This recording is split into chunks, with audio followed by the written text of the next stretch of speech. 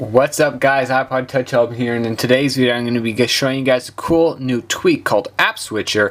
Now this will let you open up many different shortcuts by doing something like this, for example. And there we go, we're going to open up Cydia just like that. So I know you guys are going to ask, is it gonna, you guys are going to say that it's a dumb tweak because why not just open up the uh, applications yourself but I mean you can do a couple other things and it does save time. So these are just cool little shortcuts to use. So I'm gonna get you guys to search for AppDialer once you guys have opened up Cydia like I have here. And you guys are gonna want to simply install it by clicking the install button up there. And you will need to respring your iDevice. And then I'm gonna ask you guys to open up settings.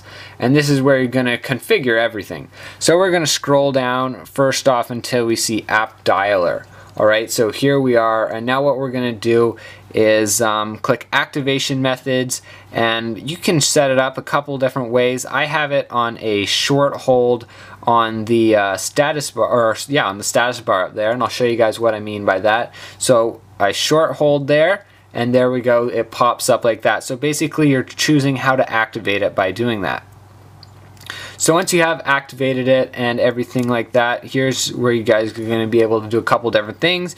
You can choose a pattern mode, which is what I'm using right now, or just the number mode. The number mode is similar to the pattern mode, but instead of having a cool little swipe, you just have the numbers that pop up and you can click the numbers to go to that shortcut. And I'll show you guys what I mean here. So I have uh, setting right here and I have one that's one two three one that's that and these just represent different motions and I'll show you guys how to add one. So let's say I want to add a new one right here like that for example. There we go that's the new one and we click on it click activation events scroll down until we find an app that we want to open or something. Open up settings and we'll test it out here. So if we go like this there we go. And settings should open up just like that. So if you guys are wanting to try the dial setting, um, what you guys can do is you can turn off the pattern mode and here we will go into dial settings.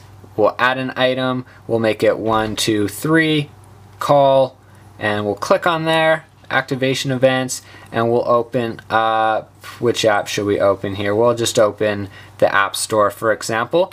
And here we go. I'll show you guys how it's done. We hold the status bar. One, two, three. Press call.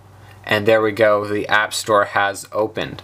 But that's pretty much it, guys, for this video. This was iPod Touch Helping. Hopefully you guys did like it. And I'll catch you guys later. Peace.